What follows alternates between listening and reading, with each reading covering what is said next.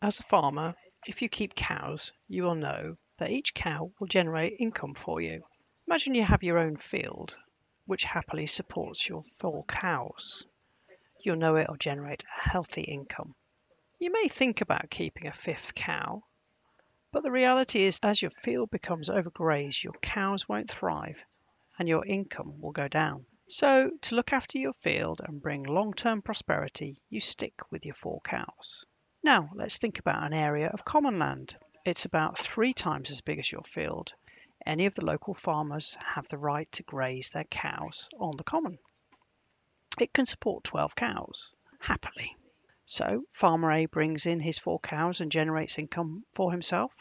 Farmer B does the same, as does Farmer C. Now imagine Farmer C decides to add one more cow to the mix. What happens? Well, the common can't really support all these animals. The cows don't thrive as much. The income per cow goes down. But even with a lesser yield per cow, Farmer C is likely to be better off. He's getting five times a slightly lower income.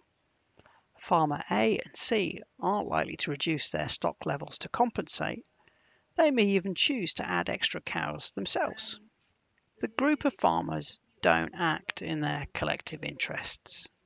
Over time, the common becomes poorer and poorer. It's not good for the farmers and it's not good for the cows. That is the tragedy of the commons.